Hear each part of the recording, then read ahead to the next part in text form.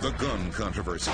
No matter what side of the debate you're on, this impacts your safety. Tonight, WPBF 25 News anchor Todd McDermott exposes how known local criminals are getting guns. Because right now, there's really no way to enforce that. An eye opening investigation uncovering the one problem not being talked about right now. Seems to be huge and very hard to get a handle on. Yes, it's tough. Special live coverage tonight at 5 at 11 on WPBF 25 News.